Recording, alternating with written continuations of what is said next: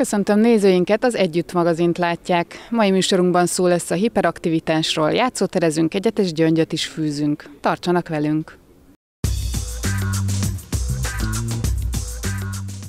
Sokakat érint a figyelemhiányos hiperaktivitás. A korai felismerés fontosságára hívta fel a figyelmet a Révambulancia konferenciája. Szakembereket, az ADHD-ban érintetteket, szülőket vártak arra a konferenciára, amelyet már második alkalommal rendezett meg a Székesfehérvári Révambulancia. A találkozón nem csak az ADHD-ról szerezhettek ismereteket a résztvevők, Farnas István Géza, a Székesfehérvári Révambulancia vezetője beszélt a szervezet Változás című projektjéről az érdeklődőknek. A projektünk címe Változás. Azért választottuk ezt, mert a, a az életünkben azt látjuk, hogy a különböző életciklusokban folyamatosan változunk. Változunk akkor, amikor házasságot kötünk, majd megszületik az első gyermek, és óvodába kell vinni, majd iskolába, és a különböző kihívások során különböző feladatokkal kell szembenézni. Ezekben vannak normálisan, normatív krízisnek mondjuk ezeket a változásokat, és kiegyensúlyozottan élhető feladatvállalások és és ahogyan működik az ember a családban, de vannak paranormatív krízisek is, amikor valami megakasztja, valami nehézséget okoz. Ilyenkor szoktunk találkozni a, a különböző függőségekkel, és és amikor ezekkel a függőségekkel találkozunk, akkor megfogalmazódik bennünk az, hogy segítenünk kell. És a segítségnyújtás különböző formái valósultak meg a Változás című projektünkben. Nagyon sok szülőcsoportunk volt, párkapcsolati szervíz nevű csoportunk, gyermeknevelésről szóló csoportunk, apacsoport a, a BV intézetben, különböző klubfoglalkozások, ezek szabadidős jellegűek voltak, kifejezetten fiataloknak, tinédzsereknek. Ezen kívül gyermekotthonokban vettünk részt művészetterápiás foglalkozásokkal, és mindannyian gazdagodtunk, úgy a szakemberek, mint a, a résztvevők. Azt gondolom, hogy, hogy két év alatt több mint ezer embert elérve nagyon sok élmény és nagyon sok érték kölcsönösen adódhatott át. A találkozón a figyelemhiányos hiperaktivitás az ADHD korai felismerésének jelentősége állt a középpontban. Három idegrendszeri készségnek a szabályozási zavara, a figyelemszabályozás, az aktivitás szabályozás zavar és az impulzus kontroll zavar. Tehát ez azt jelenti, hogy e, akik ADHD-sok, azok ezek közül a három tünetcsoport közül legalább egyben jelentős eltérést mutatnak. Vannak, akik e, az összesben vannak csak figyelemzavarosok, akik álmodozóak és szétszórtak, és ezért nehezebben teljesítenek. A legtöbben figyelemzavarosak is, és túlmozgékonyak is, ők azok, akik izegnek, mozognak, nem tudnak megülni a fenekükön, felállnak, matatnak folyton és hát a, az impulzus kontroll zavar az pedig azt jelenti, hogy minden, ami megképződik belül, az szüretlenül ömlik kifelé. Ötlet, megcsinálja, érzés ömlik ki belőle. Tehát ez, ez a három tünet csoport jellemzi ezeket a gyerekeket, és felnőtteket is hozzá kell tenni, mert több mint a fele a, a gyerekkori ADHD-soknak az felnőtt korukra is ADHD-s marad. A, a nehézséget főleg ez a, a három dolog okozza, tehát hogy nem tudnak odafigyelni, csak arra, ami nagyon érdekli őket, arra oda tudnak figyelni.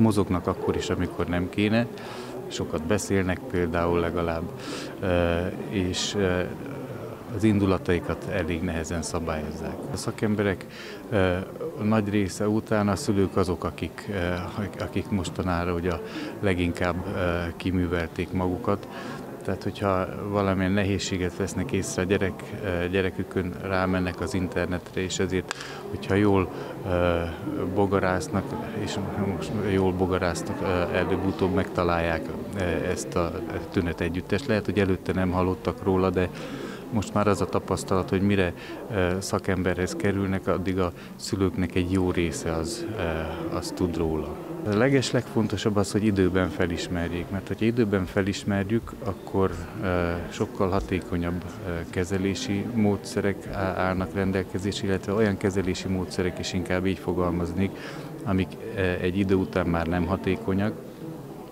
plusz a, a, a, azok a kezelési módszerek, amik később is hatékonyak, ha előbb elkezdjük ezzel megsegíteni a gyerekeket, akkor sokkal kevesebb másodlagos károsodás alakul ki, és igazából itt az ADHD-val ez a nagy uh, baj, a másodlagos károsodások. Mert az ADHD az megnehezíti az életet itt és most, de ennek következményei lesznek, és ezek a következmények ezek sokkal keservesebbek kezelés szempontjából is, a viselés szempontjából is, mint maga az ADHD.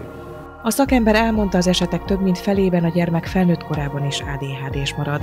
A korai felismerés azért is fontos, mert a következmények kevésbé keservesek, ha a szakember időben kezeli a betegséget. Az ADHD ban szenvedő személyek jelentős része öngyógyszerezés formájában próbálkozik drogozással és drogokkal enyhíteni a szenvedéseit. Tehát ez, ez egy nagyon gyakori és egy gyakran előforduló történet.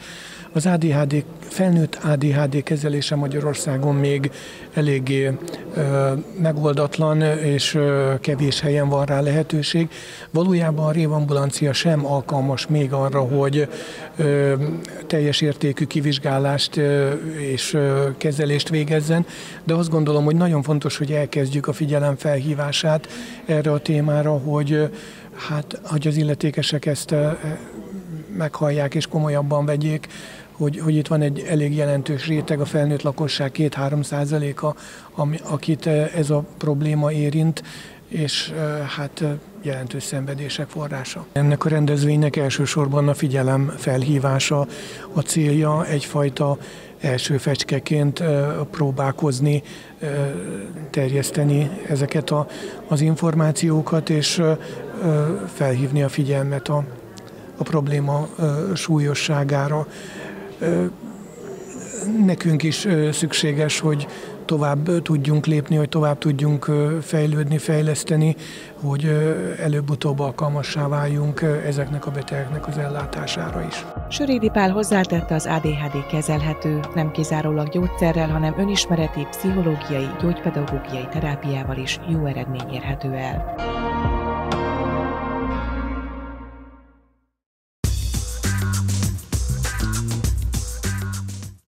Különleges gyerekbirodalmat adtak át az Agárdi Gyógy és Termelfürdőbe. A különleges játszótéren animátorok gondoskodnak a szórakoztatásról.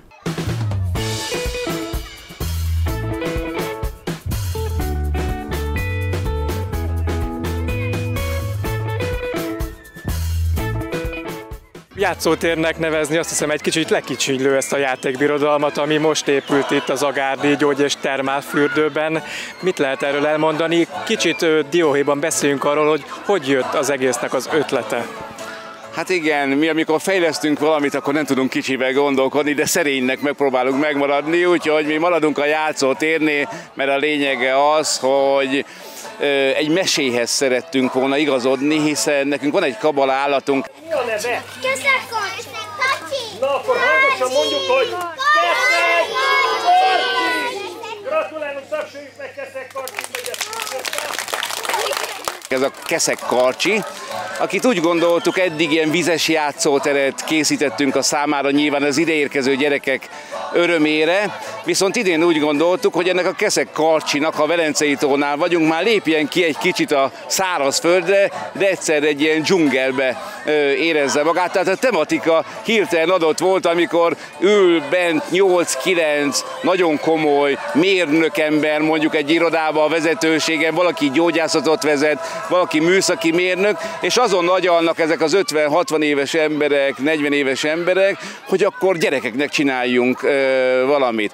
És akkor jönnek a nevek először, ugye, milyen nevet adjunk? Hát ilyen volt, olyan nem. Valaki egyszer csak benyom egy olyat, hogy trappolda és mindenki néz, ó, ez nekem nem tetszik, meg stb. Én hazamentem, otthon elkezdtem gondolkodni, milyen jó volt, amikor a gyerekkoromban elkezdtem futni, rohanni, főleg a nyári szünetbe, és az a trappolás, szóval nekem nagyon összejött, így lett a neve ennek a parknak, akkor mondjuk ezt ebbe a nagyképűen egy kicsit talán vízi park, játékparknak a neve, és akkor elkezdtük élettel megtölteni. azt gondoltuk, hogy ma ugye divatosak azok, hogy ilyen legumírozunk mindenhol minden, de kitesszük csak a, a napnak a játszóterekbe, látunk ilyet városokban, ugye kevés a karbantartási igényük ezeknek. Mi meg azt mondtuk, hogy nem egy típusú játékot fogunk a gyerekeknek beépíteni ide, hanem ténylegesen, én azt gondolom, amit ma Magyarországon a régi körhintától,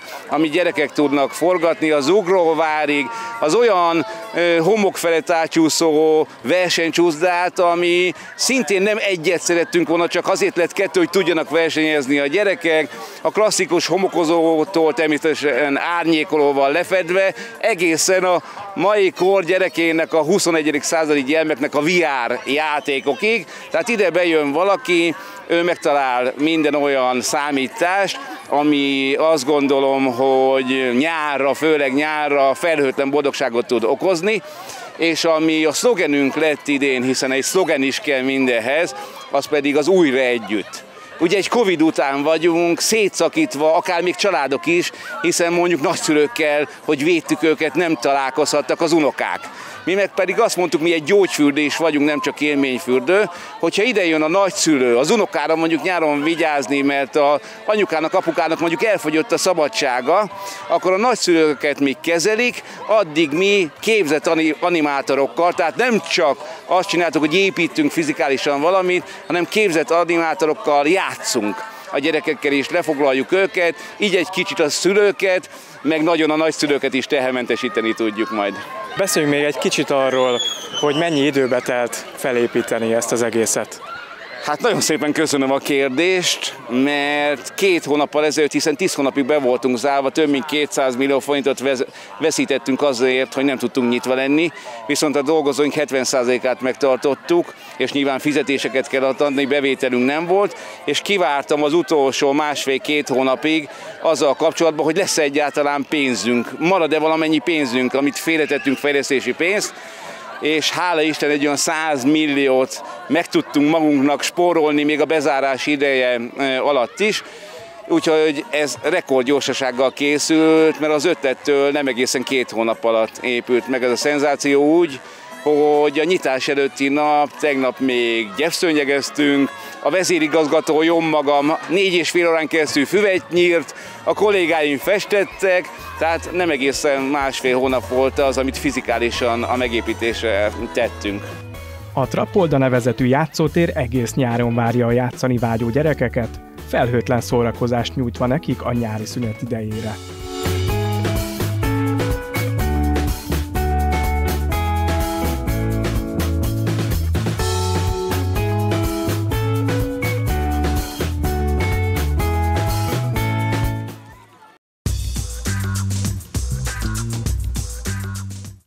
Ékszerből egy nőnek sosem elég, az pedig még különlegesebbé teszi, ha azt mi magunk készítjük el. A következő percekben lássuk, hogy készül a csiperke.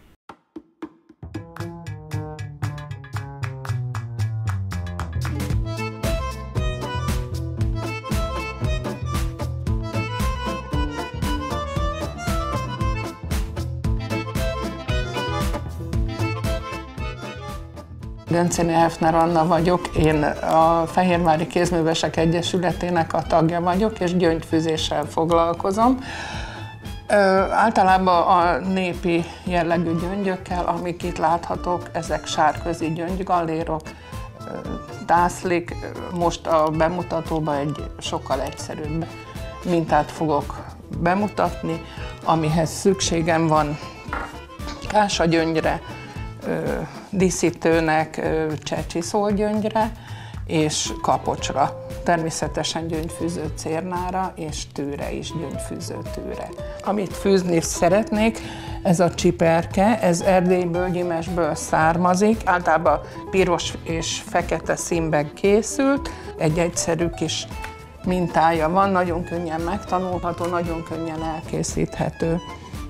Ez Olá Mártának a mintája, ő sajnos már nincs közöttünk, viszont nagyon sok mintával gazdagított minket. Az a lényeg és az a fontos minden gyöngy ékszer készítésénél, hogy minőségi gyöngyöt használjunk, ne pedig silány minőséget, ami nem adja ki a mintát. A sárközieknél és általában, amit zsűrizésre beadunk gyöngyöket, azok, vagy gyöngyékszereket, azok általában csegyöngyből készülnek, és csiszoltat fogadják még el, meg a tekla gyöngyöt. Mást nem igazán. Sárközben is megvannak az öt alapvető színek, de a mai világban már, már teljesen más színeket használnak, alkalmaznak. Ugye a sárga, a fekete, a zöld, a kék, a piros az alapszín, az öt alapszín, és akkor hát ezt variálták. De hát ha éppen nem volt ilyen színű gyöngyök, akkor megcsinálták másikból is. Én nem szoktam rákötni a gyöngyöt a cérnára, van, aki, aki még nagyon kezdő, egy szem gyöngyöt ráköt a cérnára, hogy ne csúszson el a mintája. Fölveszünk tíz szem gyöngyöt, pirosat,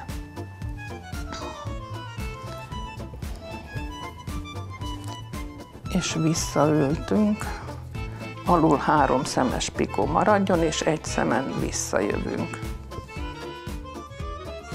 És akkor öt szemet is fölveszünk még.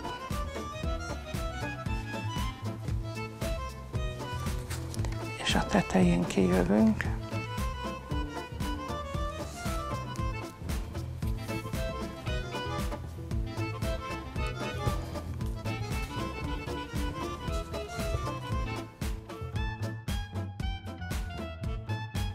Ismét öt szem jön.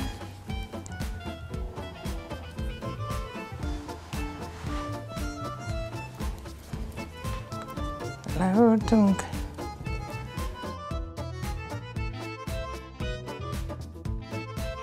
Fölvettünk öt szem gyöngyöt, és lefelé a harmadik gyöngybe öltünk.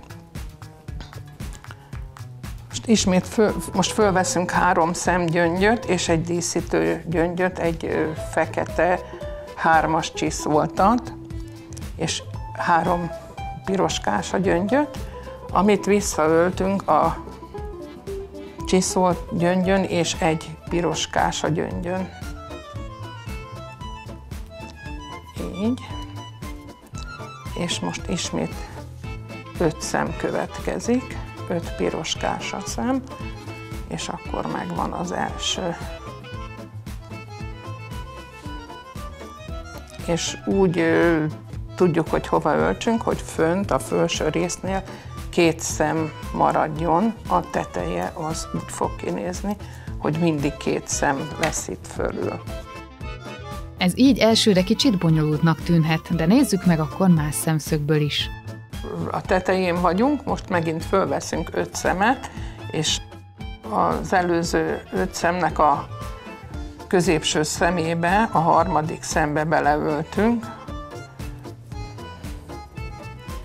és akkor így lesz a tetején.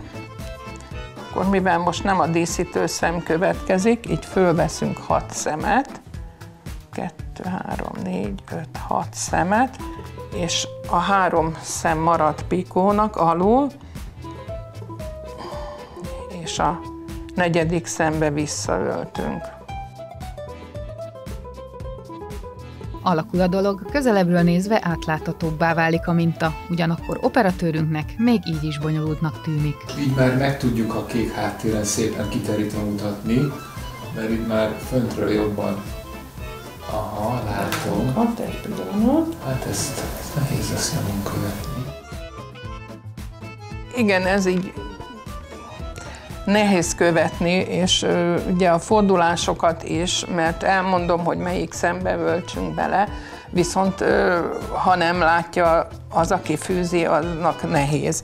De ha készítünk magának, magunknak egy rajzot, az eredeti minta alapján, és beszámozzuk, akkor sokkal könnyebben haladunk ezekkel a dolgokkal, és tudjuk, hogy mikor hová kell ölteni. Tehát a vonalat is meghúzzuk, hogy, hogy merre haladunk, és hogy, hogy kezdjük el a dolgokat.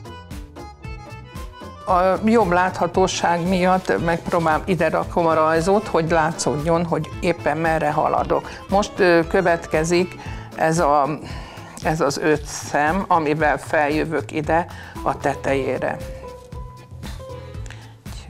Kettő, három, négy, öt. itt mindig a tetején két szem marad, tehát biztos, hogy látható az fűzés közben, hogy mi következik. Ez ilyen, ilyen lesz így. Akkor ezt most nézzük meg a készítő szemszögéből is. Akkor jön újra öt szem a piroskásából.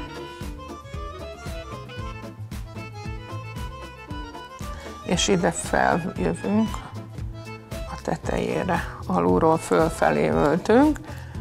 Megint öt szem.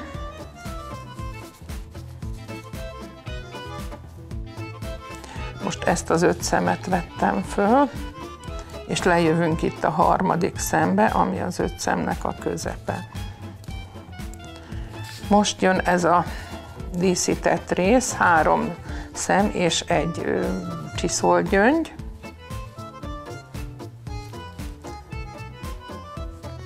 És megint három kásagyöngy. És följövünk a csiszolt gyöngyön és egy piroskás a gyöngyön, ami ide. És itt megint öt szem kása gyöngyöt felveszünk.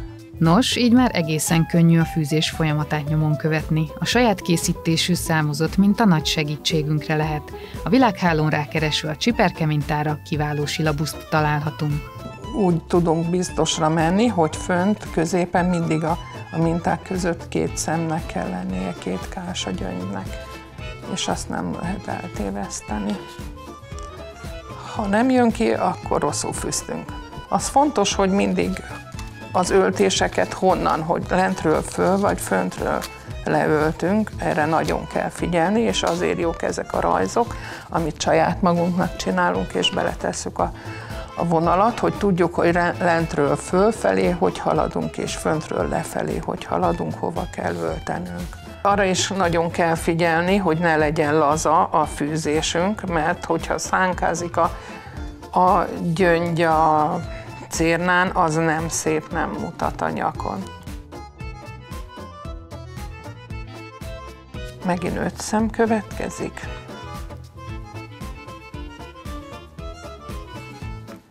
Középre, középső szembe lefelé öltünk, fölveszünk hat szemet,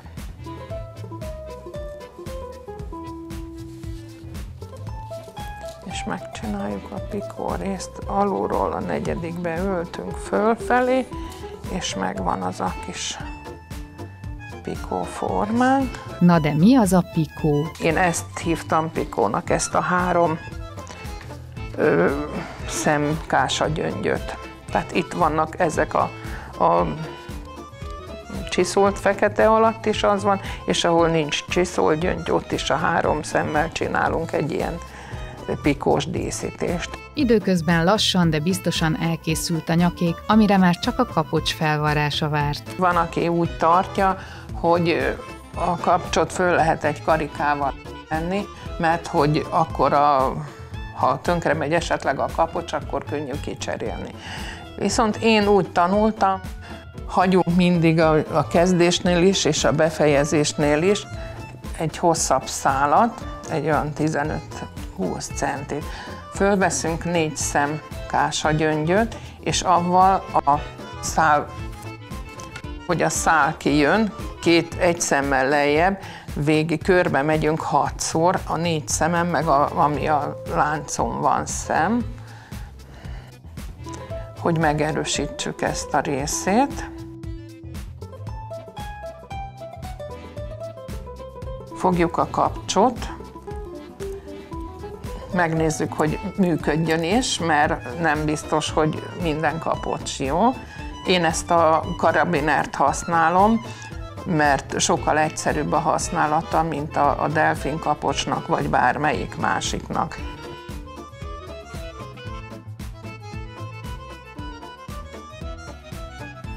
És ugyanúgy többször átmegyünk a, kap, a kapocsnak a, a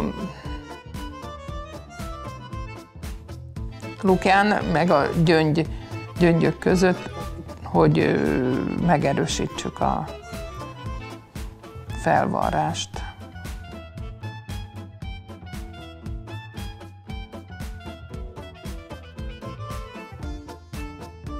Most a szálat azt nem vágjuk még itt el, sőt csombozni se szoktunk, hanem visszafűzzük a gyöngyön, ameddig tudjuk.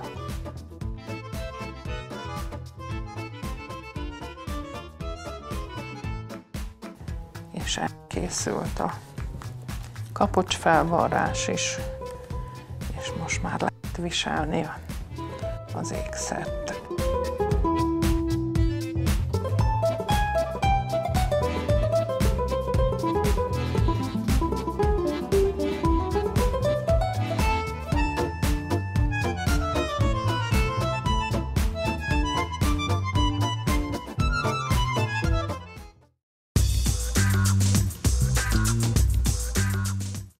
Ez volt már az Együtt magazin, köszönjük, hogy velünk tartottak, egy hét múlva is számítunk figyelmükre, viszontlátásra!